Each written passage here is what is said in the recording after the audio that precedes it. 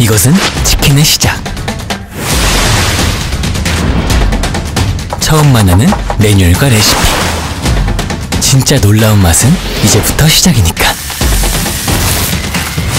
이제 치킨은 쌈으로 먹는 거야.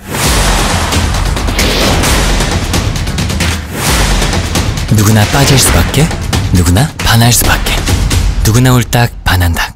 집에서 만나